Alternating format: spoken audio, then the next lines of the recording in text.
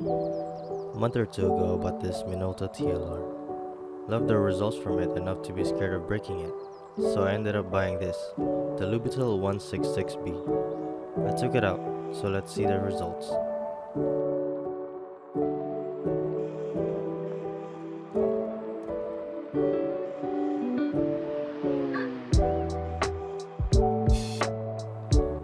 Camera was good. It had everything I need and I wouldn't be scared of breaking it. Something I didn't like was the back latch. It's like it could pop out anytime. I also noticed some weird vignettes on the top left corner sometimes. And some light leaks even though the seals looked fine. Loading the film is kind of a hassle because a tight fit in there.